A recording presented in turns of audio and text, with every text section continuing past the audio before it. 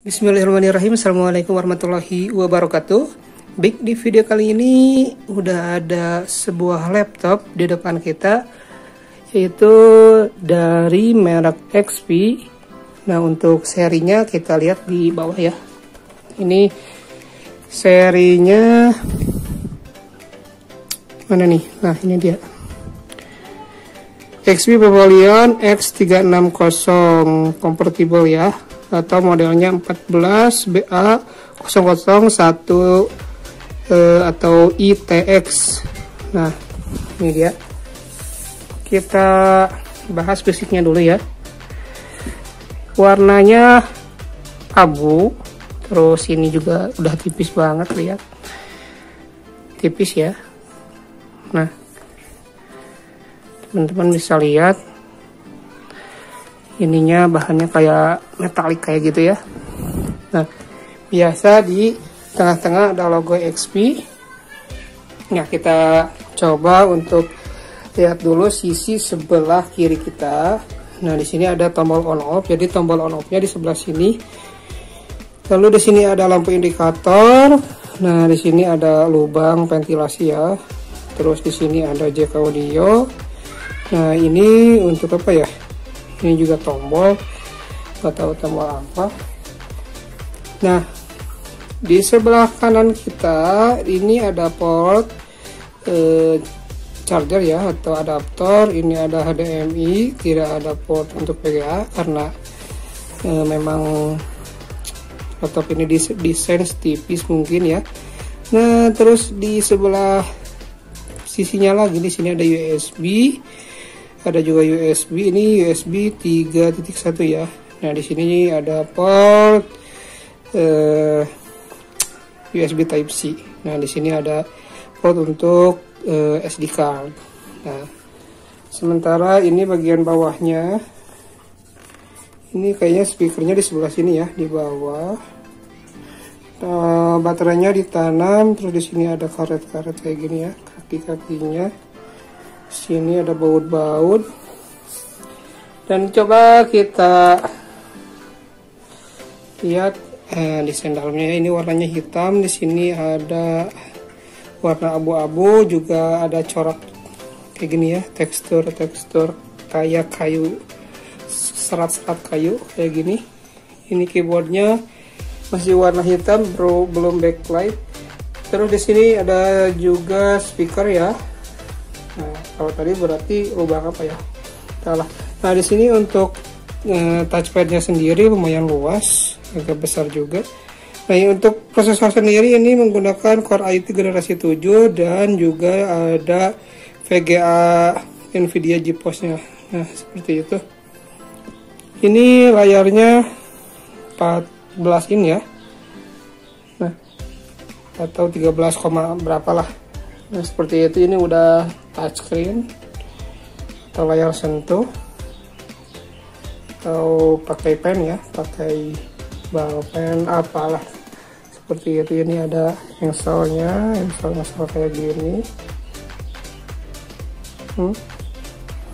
lumayan kokoh. Ini keyboardnya lumayan empuk ya. Nah kita coba nyalakan. Nah diingat teman-teman ini tombol powernya ya sebelah sini nyala. Kita lihat ini layarnya jernih banget ya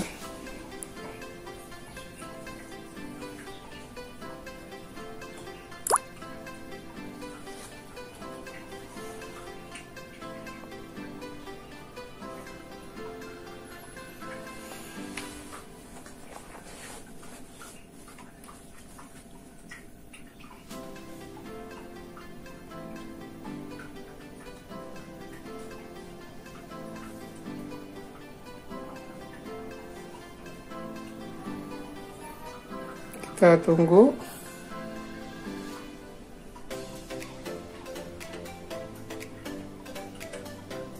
Nah ini dia udah muncul ke tampilan Windows ya.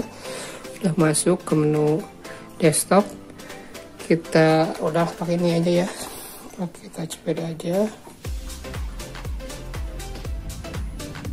Kita lihat spesifikasinya nah, spesifikasi uh, pada umumnya saja ya. Nah ini kita lihat di DX dia saja.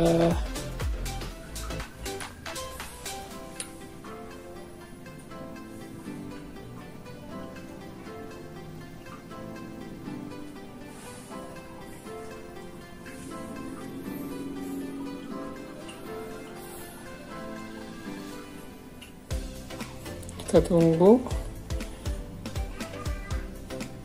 ini Core i3 generasi 7 tapi memang enggak lemot ya nggak tahu dari OS nya dari apa aja kayaknya dari OS nya nih.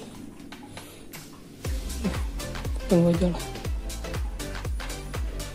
Coba kita coba tekan lagi ya. Nih. Nah ternyata udah muncul yang bisa kita lihat ini Core i3 generasi ketujuh ya. Udah generasi ketujuh atau seri 7100 kecepatan kecepatannya 2,40 GHz ini 4 CPU terus memorinya 4 GB ini VGA nya untuk bawaannya ada Intel XT 6 120 ya. Nah ditambah ini ada Nvidia GeForce nya 940 MX nah. Jadi double PGA ya. Ada Intel XD sama Nvidia GeForce nah. Ya mungkin apa ya? Itu sedikit review dari saya untuk laptop uh, ini ya. Nggak saya review terlalu banyak. Paling apa ya kita coba buat apa. Soalnya sih nggak nggak banyak kejalanin aplikasi-aplikasi berat. Paling cuma dipakai ada Photoshop ini BlueStack sama Corel ya. Nah seperti itu. Nah jadi eh, mungkin buat teman-teman boleh aja pakai eh, laptop ini harganya sekitar berapa ya? 7 jutaan mungkin ya atau 6 juta. Ini udah touchscreen udah eh, menggunakan prosesor Core i3 generasi 7 terus ininya juga udah ada Nvidia nya harddisknya 1 tera. Cuman belum pakai SSD sih jadi agak lemot sedikit ya kayak tadi di booting kalau pakai SSD wah kayaknya bakal lebih betah ya atau dipakai ngerender atau buka aplikasi berat kayaknya gak bakal jadi masalah. Nah ini untuk mana nih? Kita coba main. Kita gak usah nah ini layarnya layar sentuh ya. Nah bisa kita lihat. Pennya tidak ada. Tuh